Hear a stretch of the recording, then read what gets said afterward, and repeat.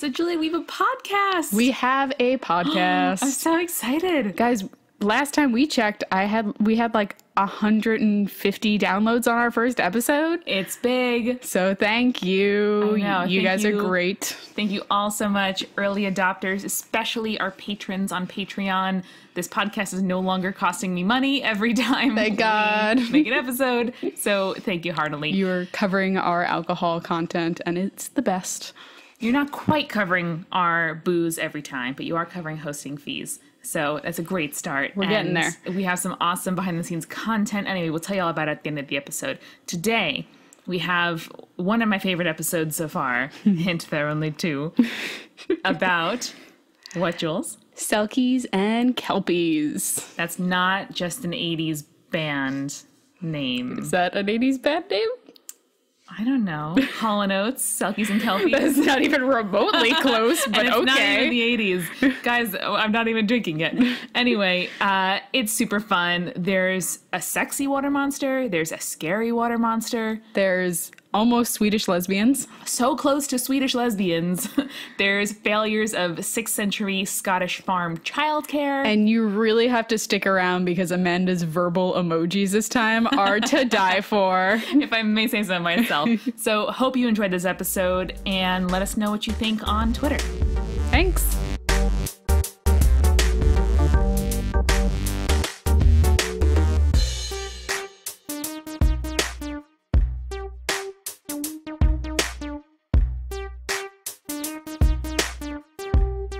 Today we're going to talk about elemental spirits, but like a specific kind of elemental spirit. element like Avatar, like Earth, Wind, and fire. yeah, exactly. Okay. Like Last Airbender, Legend of Korra kind of thing. Okay. elemental spirits kind of exist in every culture. They're spirits that like represent trees and rocks and rivers and oceans and stuff like that because everything needs to be explained in mythology. Yeah, makes everything sense. Elements are uh, elemental, right? They're a fundamental part of every culture. They're ubiquitous. Oh, that was such a bad pun. All right. It's not a pun; it's a description. so, talking about like kind of Celtic, Irish, Scottish mythology, there's two water spirits that I kind of want to talk about that are like kind of related, but also like super, super different.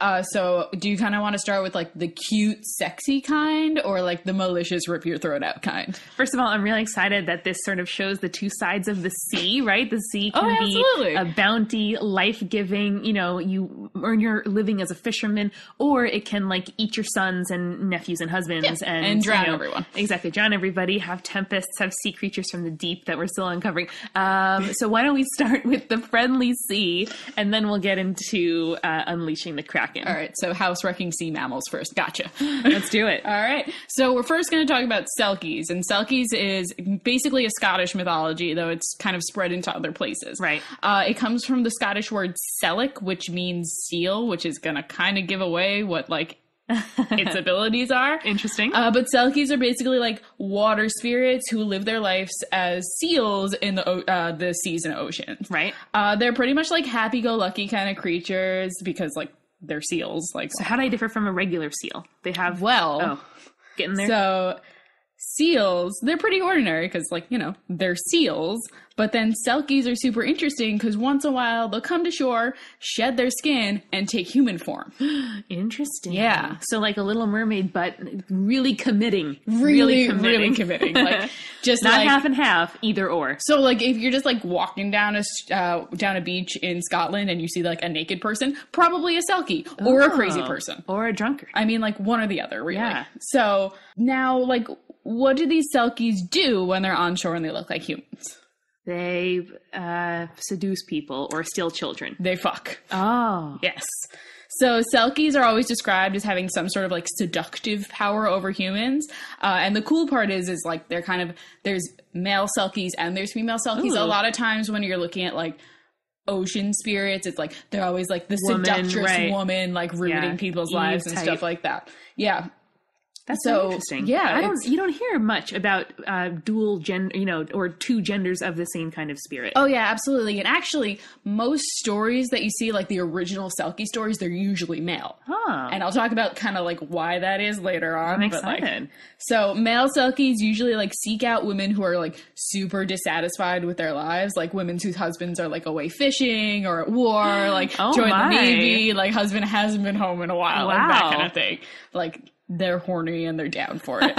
um, so in these stories, like women have it has to the way that they can summon a selkie is they have to shed seven tears into the ocean and then the selkie like emerges out of it oh kind my of like god, that's a very reliable booty call. yeah like no it's like better than like netflix and chill it's just like seven tears and we're good Instead of your seven digits, you just got to put seven tears. and that's all. Exactly. Uh, so then the Selkie comes to shore and like takes her to bed. And a lot of these stories are like probably just like explanations for like women cheating on their husbands with Oh, the sure. butcher or the milkman or whatever, and then like getting pre- pregnant and blaming it on Selkie. Wow, yeah, because who wants to cop? You know, if there's five men left in the village, everyone else is at sea.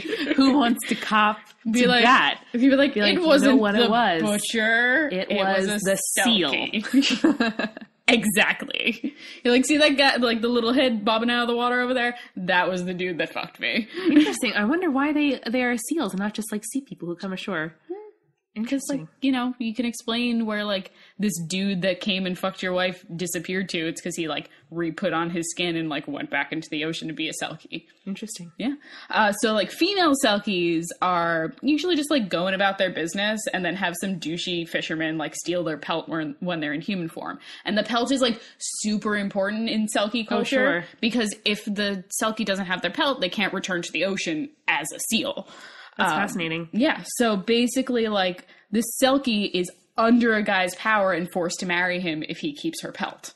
Wow. Yeah. So they become his bitch, and if the Selkie finds her pelt, she's able to like leave in a heartbeat. Like there's no like weird Beauty and the Beast Stockholm syndrome going on. Oh right, here. yeah. She she Yeah. gets the key and she's out She's of there. She's like out of there. That's like a very interesting kind of allusion to virginity, Mm-hmm. right? That like if you you know if you take the the mantle as it were, um, then you know the woman has to be yours. right, but nah, she, she can just bounce if she gets it back. That's great. What fantasy book series was it that you have to like craft the animal skin and that sort of envelope allows you to turn into that animal?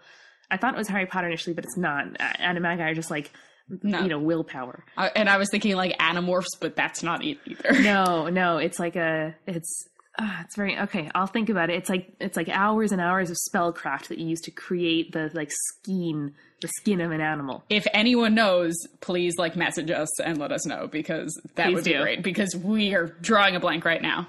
So occasionally we see stories about ventral selkies. Like if you look back into Scottish mythology, that's just like a thing that happens. Right. So like in one story, a selkie wife escapes her husband after getting her um, Pelt back. Her pelt back, uh, and then she return uh who like the husband the human husband like comes and he's like super mad that she left so he kills her selkie husband and children Oh my! So, So this is okay. So what's happening? Okay. So human woman, no no no selkie selkie woman right? leaves her human husband human husband super mad Oh, so the comes human- and kills Oh. her selkie husband Oh, so and selkie partner. children Oh, oh yeah so so like so like murdered a bunch of seals because he was mad his wife left Uh, whoa! Yeah. This that really happened? That he killed a bunch of seals? Yeah. thinking that they were selkies. yeah Wow. And so, as revenge, as the story goes, the uh, Lady Selkie drowns and pushes from the cliffs to their death all the men on the island that they lived on. So, like, homicide, Yeah. patricide, so much killing all the men. kill all the men. Hashtag misandry. wow. Yeah, so like, Some whatever sixth century Scottish misandry. right. So, like, I mean, the Selkies are like pretty chill people, but like, until you start like killing off their children, like, Of course, probably yeah. not the best situation that you could have been They're in. selkie families. yeah, exactly. Why would you kill the Selkie babies? I don't want to think too hard It's about like- it. Let's move on. It's like clubbing the seals. It's terrible. We don't want to talk about no, it. No, Um, so the Selkies are uh, not exclusive to Scottish mythology. There's similar uh, spirits that are in certain cultures, and I kind of Yeah. wanted to just touch on that Well, a it little bit. a bit like a siren, right? So a little mean, bit, but the sirens don't shapeshift. Like the Oh, yeah. shapeshifting aspect is like super important to the Selkies because it allows The them to seduction be. is very interesting. You don't think of seals as being a seductive kind of animal, I mean, but no one goes sexy seal, my yeah. friend. But I mean, when you think about it, the the sea, you know, it it gives, as I said earlier, Mm-hmm. you know, it's fertile. It gives you food and living and you know joy. I guess if you look at it, Yeah. but it's also it's unpredictable. It's tempestuous. It's um, you know, it can it can kill people. And I mean, there's a lot of stories like in mythology that are related to like the sea and like having babies and fertilization. Like if you look at the story of Aphrodite, she's born out of the waves and Mm. semen. Like that's just a thing that happens. Lol. Um, so there's a bunch of different other seal shapeshifters. Uh, in Swedish les- uh, legends, there's a seal shapeshifter. Like Swedish lesbians, tell me more. Swedish lesbian seals. that Um, would be great. And then a Native American uh, tribe in like the Washington, Oregon area, area also had uh, like a seal shapeshifter. Really? So, yeah. That's very cool. So while the Selkies are like pretty benevolent, besides that like scary revenge story where we killed all the men, Yes. um, there is a right. They just come ashore, have sex, whatever. go back to their Exactly. seal form. Very chill. Unfortunately, there's another Scottish uh, water spirit that is also known for shape shifting and kind of inhabits like lochs and pools of Scotland, Cool. but super, super different. I'm. Um, so this now we're on to the ragey part. the ragey part. Now that we've talked about killing all the men, we're gonna do a uh, a spirit that kind of doesn't care who you are. We're just gonna kill everyone. Great. Um, so we're gonna talk about kelpies. kelpies. Kelpies. Selkies and kelpies. Selkies and kelpies. The uh, Scottish apparently like things that end with e's. uh, the salt and pepper shakers of Scottish water. Yes, pretty much. um, so kelpies kind of take the form of humans, but they're notably described as taking the shape of a horse. And for anyone who is wondering, Amanda was like the horse girl when we were growing up. Yes, like that's she was true. The did- like go to. Everyone, but like I mean, when you're in school, there's always like that one girl who is like the horse girl. I don't. I don't know if I want to accept that mantle. Damn. Okay. I didn't have like horse horse apparel. yes. I just rode horses. Okay.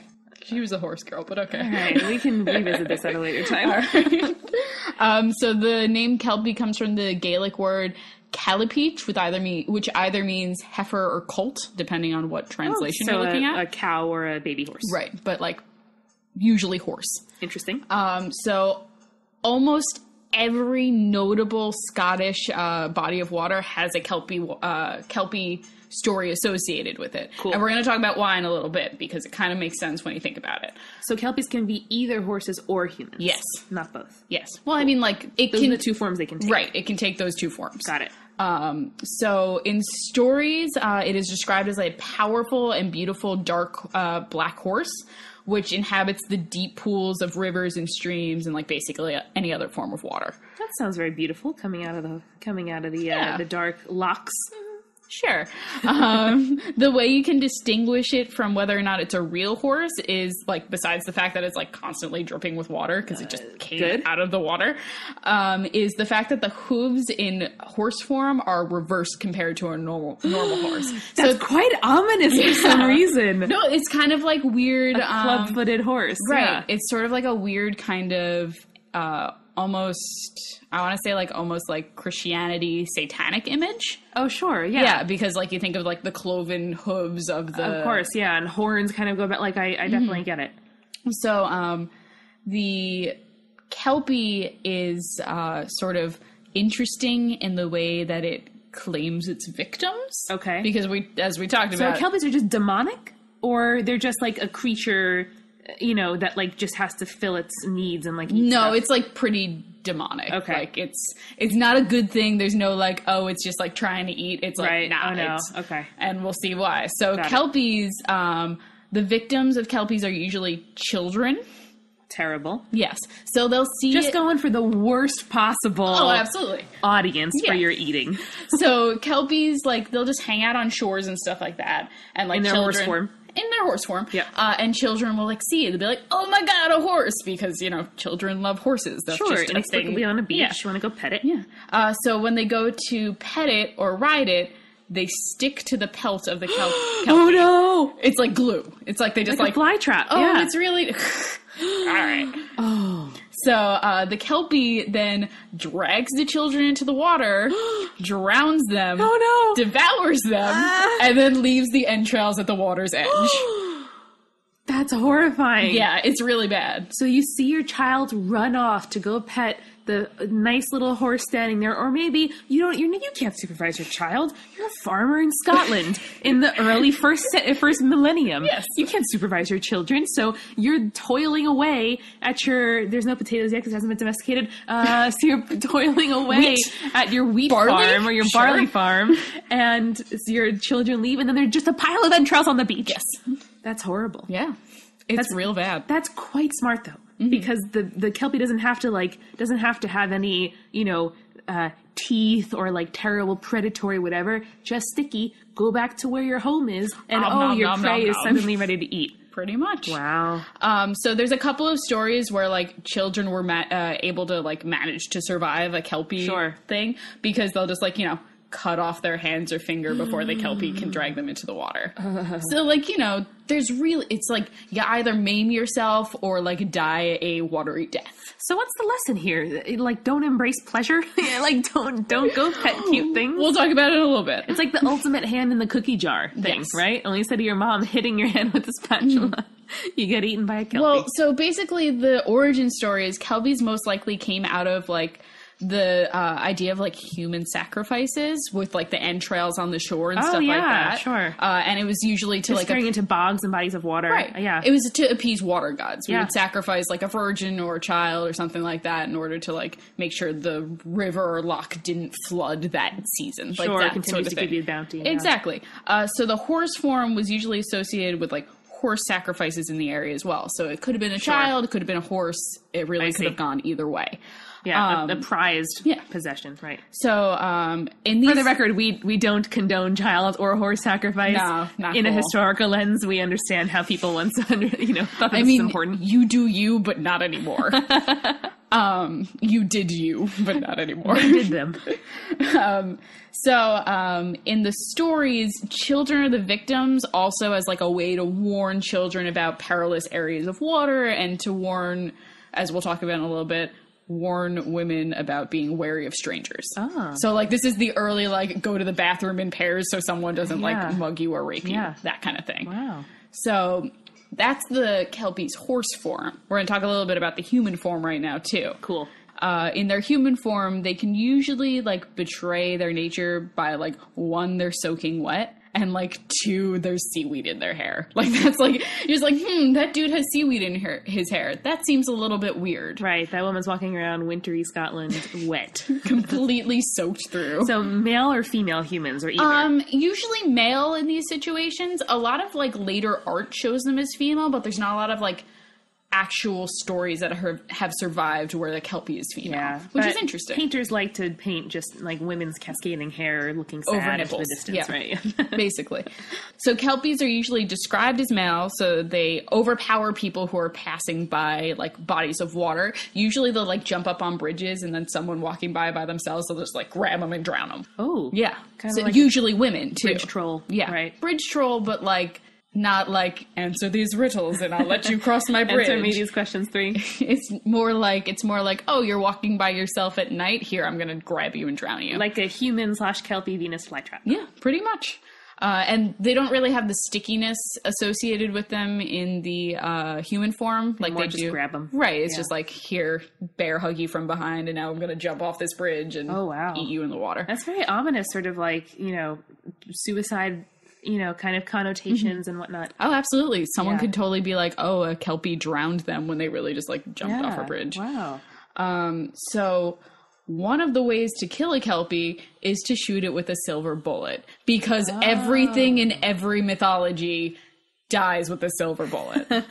if you There's have, a bit of a kind of sacrificial element to that as well, like, Like it's sacrificing- special, right? Like specially powerful. You have to kill it with a, a special object. According to capitalism, only rich people can kill monsters. Capitalism wasn't around back then. oh yeah, it was. Adam Smith was only a, a twinkle in the eye of the universe. Um, and when the kelpie is shot with the silver bullet, I think this is really fun. Uh, it turns into a Pile of seaweed. It turns into, I quote, turf and a sm- soft mass like jellyfish. Interesting. Yeah. So like a like a soiled jello, Yes. like a soiled seaweedy jello. like soil, like an Yeah. earth jello. Yes. Well, like no, no, like a like Or like I think they mean like like mossy kind of like Ooh. yeah. That sounds like modern art.